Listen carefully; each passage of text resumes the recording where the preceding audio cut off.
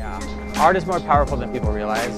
And often it's subconscious, you know, it's like you don't go to a gallery and, and look at the art on the wall and be like, wow, I'm blown away by that art every day. People do that, of course. That's not what this is, you know, this is something that uh, comes with a surprise. You know, you may not be aware that you're about to see this message. You're not going to a gallery trying to find positivity or, or, or reassurance or hope even.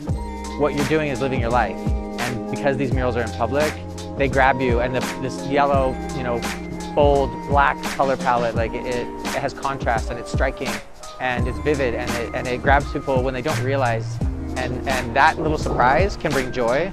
You know, it can uplift for a second and that's the power of the message is, is it hits people with synergy. You know, it, happens in, in the spur of a moment when someone needs it and didn't realize it.